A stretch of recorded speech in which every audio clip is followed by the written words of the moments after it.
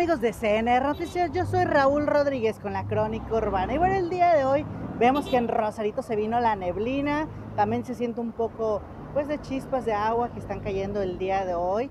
Así que los invitamos a que tomen precaución si andan en las calles y bueno, también hacer un llamado a las autoridades de que estén prestando atención a esos famosos semáforos inteligentes, porque pues sabemos y con el informe que se acaba de hacer que se invirtieron casi 18 millones de pesos con estos semáforos inteligentes y ahora es cuando vamos a ver qué tal funcionan. Vamos a ver si tienen la visibilidad para la neblina que hay hoy en Rosarito. Pero la inquietud ciudadana es de que allá en la entrada por pabellón, bajando casi casi, se encuentran, pues ustedes saben que vamos a tener visitas de altos mandos. Entonces quieren que se vea un Rosarito feliz, un Rosarito colorido.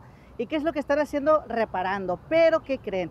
Las reparaciones o las personas encargadas tienen como a un metro los famosos conos naranjas pues para evitar llegar a chocar con ellos. Así que hay que tener mucha precaución porque con la neblina muy poco se alcanza a ver, como estamos viendo en estas imágenes, que el taxista alcanza a esquivar estas unidades. Así que tengan muchas precauciones.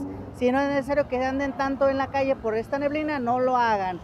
Cuídense mucho y estemos atentos de toda la información que están diciendo a través de las páginas oficiales de las autoridades acerca del clima. Y recuerda que estaremos atendiendo sus inquietudes ciudadanas a través de CNR Noticias o de Raúl Rodríguez. Yo soy Raúl Rodríguez con la Crónica Urbana para CNR Noticias.